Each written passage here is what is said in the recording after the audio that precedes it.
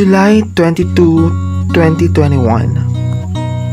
Ang araw na binuksan ang kaisipan. Ang araw na binigay ang kapatawaran. Ang araw na muling pagkakataon. Ang araw na tiniklop ang pahina ng kahapon. Sinisikap, pinipilit, sinusubukang ipadama ang pagsisisi sa kamalian ng kahapon na handang itama. Ang laman ng pusong ikaw lang ang sinisigaw sa mundong handa at taas noong ihiyaw. July 25, 2021 Oo ang naging sagot nung tinanong ka kung may pag-asa pa ba ako. Ang naging sagot nung tinanong ka kung pwede bang maging tayo. Oo ang aking sagot nung tinanong kung makakapaghintay ba ako. At oo ang naging sagot nung tinanong ka kung mahal mo pa rin ba ako.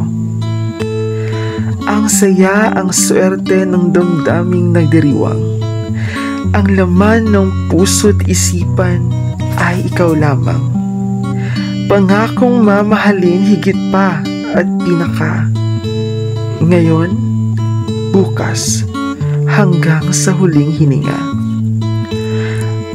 Ating pag-iibigan na malayo sa isa't isa. Sinasabing mahirap, iniisip na ikay katabi sana.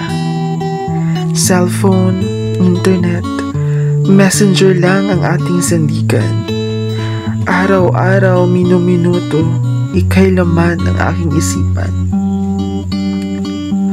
Long distance relationship man kung ito'y tawagin. Nangungulila man pero kailangang tanggapin.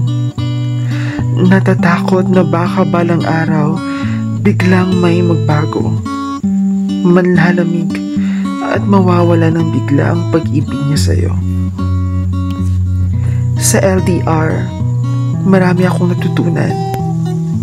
Mahabang pasensya, malawak na pag-unawa at tiwala ang kailangan.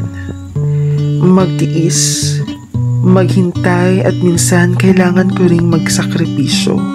Mapatunayan lang ang pag-ibig ko sa iyo.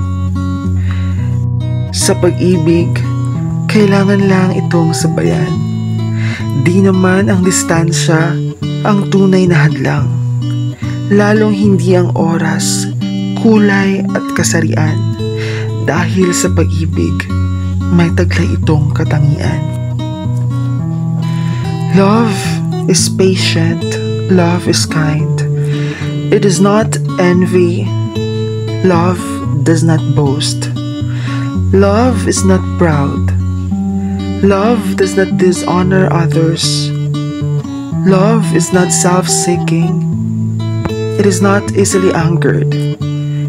Love keeps no record of wrongs. Love does not delight in evil, but rejoices with the truth. Love always protects, always trusts, always hopes, always perseveres.